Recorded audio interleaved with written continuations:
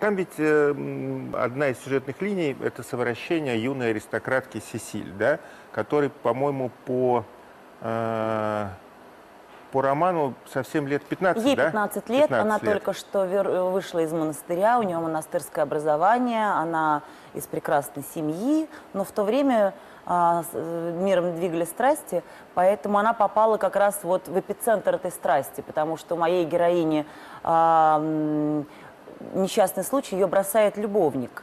А, и такого она не могла себе вообще представить в жизни, чтобы ее кто-то бросил. Поэтому она решает ему отомстить. И мстит, в общем, достаточно а, попадает сразу же в цель, и огромное количество жертв вокруг. Но она отомс- отомщена. Кто играет Сесиль в спектакле? Сесиль играет замечательная а, молодая актриса, она несколько лет уже в нашем театре, Анечка Михайловская, она сейчас много снимается.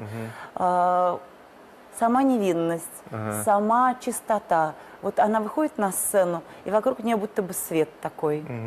А г- одну еще одну, одну из жертв играет Юлия Хлынина. А Она э, вот у нас три возрастных категории в спектакле. Вот это юная Сесиль, а потом героиня Юлии Хлыниной и моя героиня. Значит, и в трех возрастах женщина, значит, совсем еще невинно не познавшая мир, с монастырским образованием, женщина, будучи, которая уже два года замужем, которая вдруг встречает э, мужчину своей мечты, и она понимает, что она готова на все, она готова на страсти, она готова, она готова на жертвы. И он принимает и страсть, и жертвы, но а, потом вдруг вот так вот отказывается, и, и человек, а человек уже потерял жизнь, потерял сердце, и он уже не жилец на этом свете, потому что он теряет то чувство, к которому он стремился, к которому стремится его, его душа.